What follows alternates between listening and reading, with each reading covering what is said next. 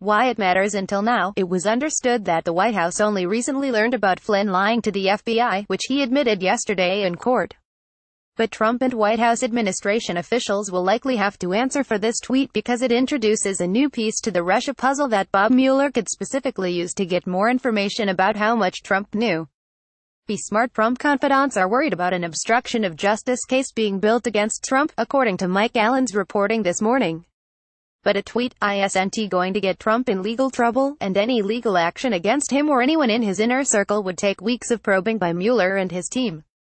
Palestinian officials say they got no clear answers from the White House regarding the concerns they raised. Trump is expected to give a speech on the matter next Wednesday what they're saying in the last 24 hours the Palestinians have been trying to get the international community to push the Trump administration to refrain from any steps regarding Jerusalem. Palestinian President Mahmoud Abbas called the Crown Prince of Saudi Arabia Mohammed bin Salman nicknamed MBS and asked him to intervene with the U.S. on this issue. MBS has a very close relationship with Trump's son-in-law and senior advisor Jared Kushner. According to Palestinian officials, MBS told Abbas that King Salman and him personally see the issue of Jerusalem as a top priority. Palestinian official say Abbas also called King Abdullah of Jordan, Egyptian President Sisi, French President Macron, President of Turkey Erdogan and the Emirs of Kuwait and Qatar. In all the phone calls Abbas asked his counterparts to press the Trump administration not to take any moves regarding Jerusalem. Abbas spokesman Nabil Abu Rudeineh said Abbas told his counterparts that such a move by the U.S. will have dangerous consequences for the whole region. When Paul Manafort told Trump he shouldn't go on TV anymore, Trump yelled did you say I shouldn't be on TV on Sunday? I'll go on TV anytime I GDAM thing want and you want say another thing word about me, you're a political pro? Let me tell you something. I'm a pro at life. Trump's fast food diet on Trump Force 1, were four major food groups McDonald's, Kentucky Fried Chicken, Pizza and Diet Coke. His go-to McDonald's order was two Big Macs, two Filet-O-Fish, and a chocolate malted. When the Access Hollywood tape dropped, Trump said that doesn't something I would say. Reince Priebus encouraged Trump to drop out of the race before he lost in the biggest electoral landslide in American history. Trump responded, first of all, I'm going to win. And second, if the Republican Party is going to run away from me, then I will take you all down with me. But I'm not going to lose. KT. McFarland, transition advisor to Trump, wrote in an email that Flynn would talk with Kislyak after Obama sanctions were announced. She said the key will be Russia's response over the next few days.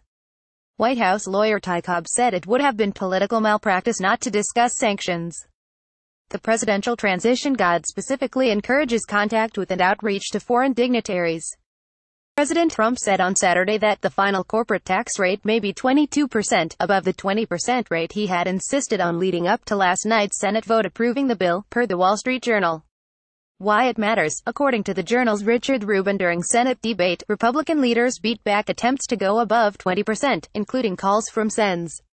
Marco Rubio R. FLA and Mike Lee R. Utah to pay for a larger child tax credit and from Sen. Susan Collins R. Maine for her priorities. Go deeper What else will be negotiated between the House and Senate versions? Context This loyalty to Flynn is reflective of how Trump has always talked about him. Back in May, Trump told NBC's Lester Holt that Flynn is a very good man even after he knew that Flynn had lied to Vice President Mike Pence about his contacts with the Russians why it matters instead of distancing himself from Flynn like he did after George Papadopoulos pleaded guilty for the same thing. Trump is defending Flynn and claiming that he didn't do anything unlawful during the transition. And that is curiously the same time frame Flynn is willing to give information about to special counsel Bob Mueller when he will reportedly testify about Trump. One question Did the White House previously know that Flynn lied to the FBI in addition to Pence? Trump's tweet suggests as much when he writes that he had to fire General Flynn because he lied to the vice president and the FBI, which HASNT been reported. What happened Mueller removed him after a discovery of texts in which Strzok and a colleague, Lisa Page, who served on Mueller's team until July, were reacting to current events in ways that could be construed as critical of the president. He's been reassigned to the Human Resources Department of the FBI. Per Washington Post defenders of Page and Strzok insisted the issue is overblown and that there was no misconduct between the two. Crypto rocket shot past $11,000 this week just hours after eclipsing $10,000, which itself was mere days after pushing past $9,000. It then slid sharply before surging yet again. Now Wall Street is about to join in the fun. On Friday, the Commodity Futures Trading Commission greenlighted plans by the CME and the Chicago Board Options Exchange to introduce Bitcoin futures. Nasdaq is planning to offer its own futures next year, while Cantor Fitzgerald will introduce a Bitcoin options product. Why it matters getting listed on some of the largest exchanges in the country is a tectonic shift for Bitcoin, which has been associated with drug dealing and called a fraud by the chief executive of the nation's largest bank.